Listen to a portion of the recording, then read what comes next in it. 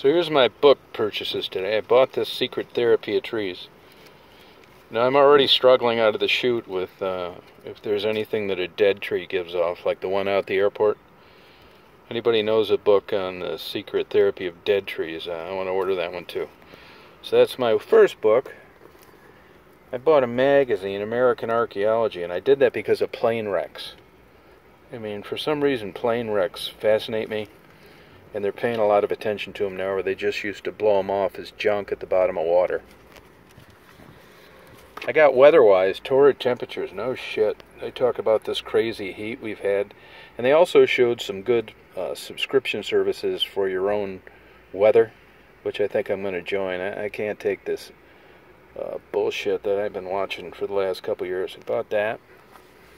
Then I bought a book on psychotherapy and really I bought it because of uh, it was cheap six bucks nowadays for magazine's nothing. And it was a black therapist in America. Now that is interesting to me. I don't care about therapeutic approaches to miscarriage. My mom had a couple.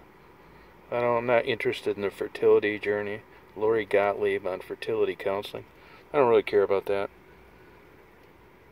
Yeah but that is interesting subject. I'll probably read it then I bought one on, I'm not big on Stanford. I mean, I think they have some, you know, super great programs.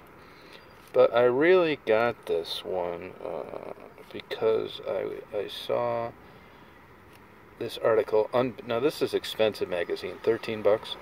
The Unpacking the Theory of Change. And uh, it's interesting to me. And they are, you know, a well renowned institution. Not everything they talk about is bad. So, looking forward to reading these.